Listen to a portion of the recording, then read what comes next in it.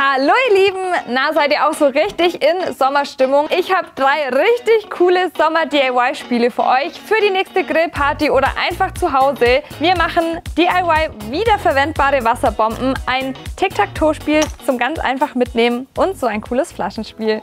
Für das erste DIY braucht ihr Spülschwämme, außerdem noch Gummibänder und dann habt ihr auch schon fast alles. Ihr braucht nur noch eine Schere und schon könnt ihr starten. Die Spülschwämme müsst ihr jetzt in circa 2 cm große Streifen schneiden. Das geht natürlich nicht genau.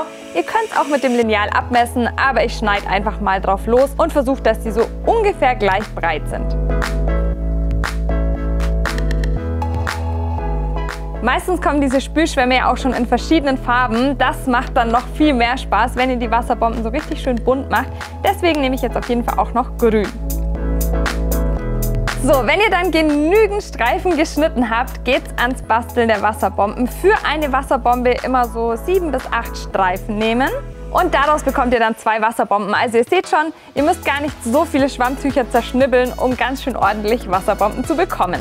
Die Streifen legt ihr jetzt einmal übereinander und zerschneidet sie nochmal in der Hälfte. Wenn ihr nicht alle auf einmal durchbekommt, dann nehmt sie einzeln. Von den halbierten nehmt ihr jetzt sechs bis acht. Ich habe jetzt hier acht Stück.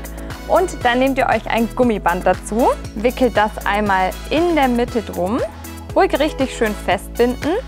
Und damit daraus jetzt noch eine Wasserbombe wird, müsst ihr das noch so ein bisschen verdrehen, damit es so in alle Richtungen absteht. Und fertig ist eure DIY wiederverwendbare Wasserbombe.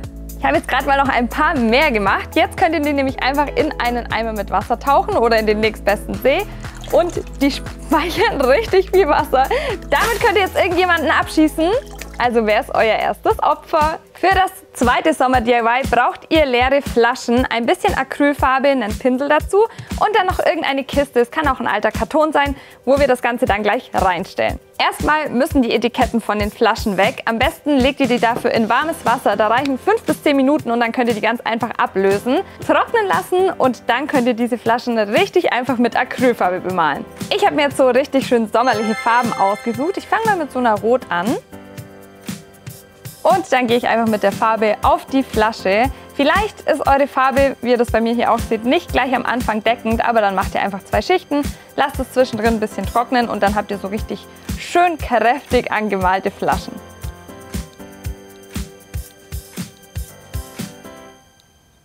Insgesamt braucht ihr so sechs bis acht Flaschen, je nachdem wie groß eure Kiste ist. Am besten füllen die Flaschen die Kiste dann aus. Und mein Pinsel ist ein bisschen klein, stelle ich gerade fest. Also falls ihr einen großen Pinsel habt, umso besser. Dann kommt ihr schneller voran. Aber auch mit dem kleinen Pinsel geht das natürlich. So, das Ganze lasse ich jetzt trocknen. Am besten natürlich immer über Nacht. Falls ihr nicht so lange warten wollt, vier bis fünf Stunden reichen bestimmt auch aus. Bis die Farbe trocken ist, dann könnt ihr noch mal eine zweite Schicht drüber geben oder es auch einfach so lassen. Ich werde jetzt mal weitermachen und die restlichen Flaschen bemalen und dann sehen wir uns gleich wieder, wenn meine Flaschen trocken sind. Dann können wir nämlich weitermachen. Und so schnell kann es im Video gehen. Meine Flaschen sind jetzt trocken. Ich habe mich für Orange, Grün und blaue Flaschen entschieden. Und das wird jetzt nämlich unser Flaschenspiel. Diese Flaschen müssen jetzt einfach nur noch in die Kiste. Die könnt ihr so richtig schön bunt durcheinander drapieren. Und das könnt ihr jetzt in ein bisschen Entfernung aufstellen. Vorher vielleicht noch ausmachen, ob die verschiedenen Farben unterschiedliche Punkte geben. Und dann braucht ihr nur noch was zu werfen. Vielleicht habt ihr irgendwie einen Holzring oder irgendwas über. Ich hatte jetzt hier so einen Styroporring bei meinen Bastelsachen gefunden. Und dann könnt ihr euch in Teams aufteilen, für euch selber spielen, in Gruppen spielen, wie ihr möchtet von ein bisschen Entfernung den Ring schmeißen, der dann hoffentlich über einer Flasche landet. Und dann gibt es zum Beispiel 10 Punkte für grün. Die könnt ihr euch notieren und dann habt ihr so einfach ein richtig cooles DIY-Sommerspiel, das ihr auch einfach auf die nächste Grillparty mitbringen könnt. Für das dritte Sommer-DIY braucht ihr solche Stoffbeutel, außerdem Bierdeckel. Vielleicht habt ihr ja auf der letzten Grillparty ein paar übrig gelassen. Ansonsten gibt es die auch im Bastelbedarf. Dann brauchen wir Filzstifte, am besten solche Textilmarker, weil wir ja auf die Beutel malen. Ein Lineal, außer ihr könnt freihändig ganz gut Linien zeichnen und ein bisschen Acrylfarbe. Wir fangen mal mit den Bierdeckeln an. Ihr braucht 10 Stück und jeweils 5 malt ihr davon in der gleichen Farbe an. Ich beginne mal mit den blauen. Wie immer, wenn ihr Acrylfarbe benutzt, schaut, wie deckend eure Farbe ist, wie es euch gut gefällt. Wenn sie nicht so ganz deckend ist, könnt ihr das Ganze auch erstmal ein bisschen antrocknen lassen und dann mit einer zweiten Schicht drüber gehen. So, schön in die Rillen hier rein und einmal zum Trocknen. Vielleicht seid ihr ja bald auf einer Grillparty eingeladen oder veranstaltet selber eine. Dann ist das einfach das perfekte Spiel zum Mitbringen. Das ist so handlich und passt in jede Tasche mit rein. Und es macht einfach super viel Spaß. So, meine Bierdecke sind mittlerweile getrocknet. Ich habe jetzt fünf rote und fünf blaue. Und jetzt fehlt noch die Gestaltung von unserem Jutebeutel.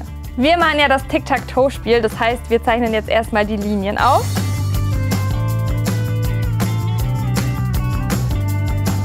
Ich habe das jetzt nicht extra ausgemessen, wie breit die Felder sind. Das kann man natürlich machen, damit die alle gleich groß sind. Ich fand es aber ganz cool, das auch so ein bisschen per Hand zu machen, damit es so den Charme hat von einem DIY und man auch sieht, dass man das selber gemacht hat. So, und jetzt könnt ihr das Ganze noch verzieren. Ich glaube, ich mache jetzt noch ein bisschen sommerliche Herzchen drauf oder eine Sonne vielleicht.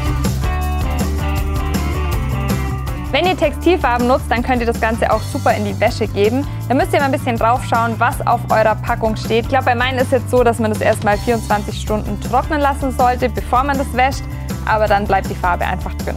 So, das ist jetzt meine Spielfläche und hinten schreibe ich jetzt, glaube ich, noch Tic-Tac-Toe drauf. Und ihr seht schon, ich habe jetzt nichts dazwischen gelegt. Da müsst ihr immer aufpassen, wenn ihr auf Textil schreibt oder malt, Falls ihr auf Nummer sicher gehen wolltet, dann legt am besten irgendwie eine alte Zeitung rein oder ein Stück Papier. Dann drückt ihr auf gar keinen Fall was durch.